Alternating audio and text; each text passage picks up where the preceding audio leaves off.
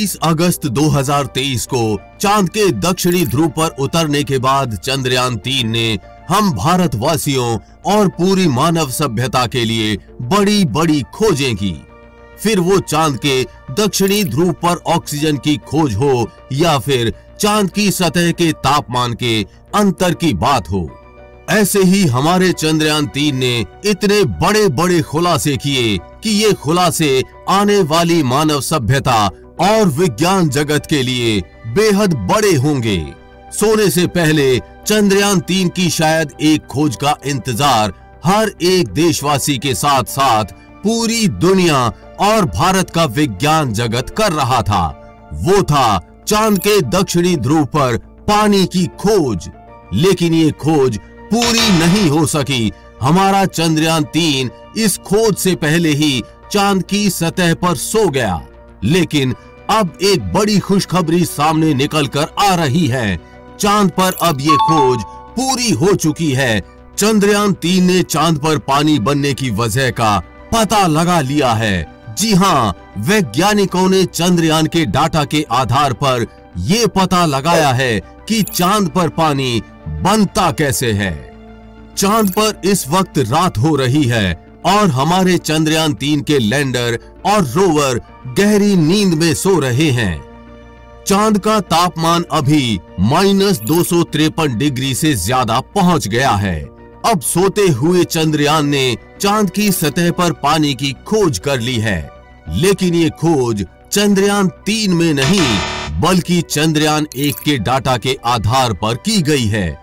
आइए इस वीडियो में जानते हैं, आखिर वैज्ञानिकों की एक नई रिसर्च क्या सामने आई है। जिसमें बताया गया है कि चाँद पर पानी पृथ्वी की वजह से बनता है और इस खोज में कैसे चंद्रयान एक का डाटा सहायक बना है, चलिए बताते हैं। चंद्रयान एक ने चाँद पर पानी खोजा था। इस बात का खुलासा बहुत सालों पहले ही हो चुका है, लेकिन अब एक नई बात सामने आ रही है। वैज्ञानिकों का दावा है कि धरती की वजह से ही चाँद पर पानी बन रहा है। क्योंकि यहाँ से जाने वाले हाई एनर्जी इलेक्ट्रॉन्स ही चंद्रमा पर पानी बनाने में मदद कर रहे हैं। ये इलेक्ट्रॉन पृथ्वी की प्लाज्मा शीट में हैं, जो मौसमी प्रक्रिया के लिए जिम्मेदार है यानी इनके होने से ही पृथ्वी के मौसम में बदलाव होता है। आसान शब्दों में समझें तो चाँद पर चौदह दिन तक रात और चौदह दिन तक उजाला रहता है यानी चौदह दिन ही यहाँ पर सूरज की रोशनी होती है। जब चाँद पर सूरज की रोशनी नहीं होती तो सोलर विंड की बौछार होती है। इसी दौरान पानी बनने का दावा किया गया है। जैसा अभी आप वीडियो में देख पा रहे हैं, प्रोटॉन जैसे उच्च ऊर्जा कणों से बनी सौर हवा चंद्रमा की सतह पर बमबारी करती है और माना जाता है कि चंद्रमा पर पानी बनने के प्राथमिक तरीकों में से एक है। ये पूरी स्टडी चंद्रयान एक के डाटा के आधार पर की गई है। साइंटिस्ट का दावा है कि ये इलेक्ट्रॉन चाँद पर मौजूद चट्टानों और खनिजों को तोड़ या घोल रहे हैं। इससे चाँद के मौसम में भी बदलाव आ रहा है। ये खुलासा अमेरिका के मनोवा में मौजूद हवाई यूनिवर्सिटी के वैज्ञानिकों ने किया है। स्टडी में पता चला है कि धरती के चारों तरफ़ मौजूद प्लाज्मा शीट की वजह से चाँद के पत्थर पिघलते या टूटते हैं। खनिजों का निर्माण होता है या वो बाहर आते हैं। इसके अलावा चाँद की सतह और वायुमंडल का मौसम भी बदलता रहता है। ये स्टडी हाल ही में नेचर एस्ट्रोनॉमी जर्नल में प्रकाशित हुई है। जिसमें कहा गया है कि इलेक्ट्रॉन्स की वजह से चाँद की सतह पर पानी बन रहा है। चाँद पर पानी कहाँ और कितनी मात्रा में है, ये धरती पर मौजूद वैज्ञानिकों को पता नहीं है। इसलिए चाँद पर पानी की उत्पत्ति की वजह का पता नहीं चल पा रहा है। अगर ये समझ आ जाए कि वहाँ पर पानी कैसे और कहाँ मिलेगा या कितनी जल्दी बनाया जा सकता है तो भविष्य में वहाँ पर इंसानी बस्ती बसाने में मदद मिलेगी। यानी अगर हमारा चंद्रयान तीन, हम सभी भारतवासियों की दुआओं से 22 सितंबर को उठ जाता है तो उसके बाद शायद चंद्रयान तीन चाँद पर पानी की खोज करे और हमें ये डाटा दे कि चाँद पर पानी कितनी मात्रा में है और कहाँ है। तो ये डाटा पूरे विज्ञान जगत के लिए किसी वरदान से कम नहीं होगा, क्योंकि यही डाटा भविष्य में चाँद पर इंसानी बस्ती बसाने और अन्य कार्य करने में सहायक होगा। चंद्रयान तीन से निकले विक्रम लैंडर और प्रज्ञान रोवर ने चाँद पर पानी की पुष्टि कर दी तो फिर दुनिया में बहुत कुछ बदल जाएगा।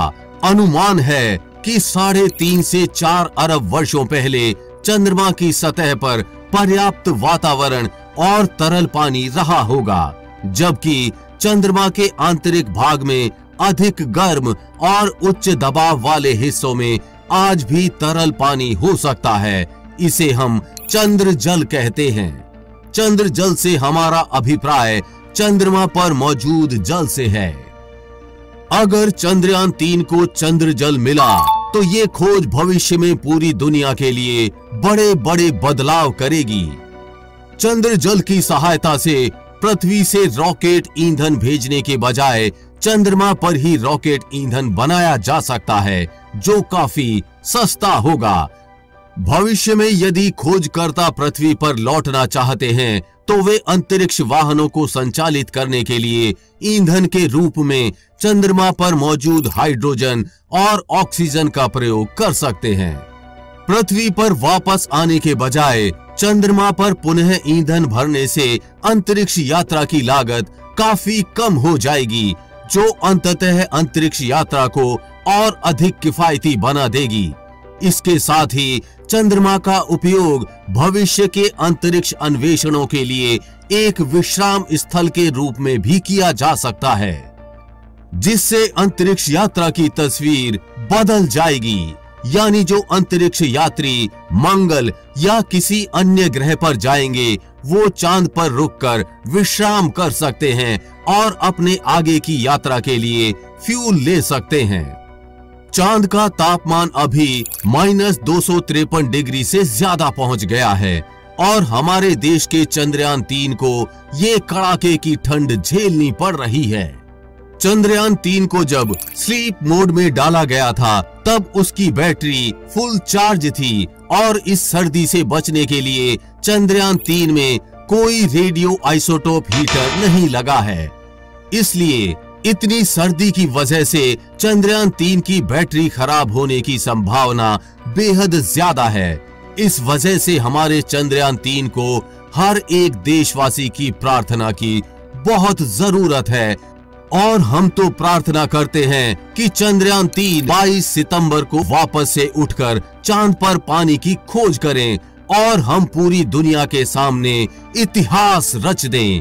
आपको क्या लगता है, चंद्रयान तीन 22 सितंबर को जागेगा या नहीं और उसके बाद उसको चाँद पर पानी मिलेगा या नहीं? नीचे कमेंट बॉक्स में लिखकर ज़रूर बताएँ। हम उम्मीद करते हैं कि आपको ये जानकारी अच्छी लगी होगी। अगर जानकारी अच्छी लगी हो तो इस वीडियो को अपने दोस्तों और रिश्तेदारों में ज़रूर शेयर कीजिए। आगे भी ऐसी इंफॉर्मेटिव वीडियोस आती रहेंगी। इसलिए अपडेटेड रहने के लिए चैनल को सब्सक्राइब करके बेल नोटिफिकेशन ऑन ज़रूर कर लें। वीडियो को लाइक करना ना भूलें। जल्द ही मिलेंगे ऐसी ही इंफॉर्मेटिव वीडियोस के साथ और आपको कुछ अच्छा सिखाएँगे। तब तक के लिए जय हिंद, जय भारत।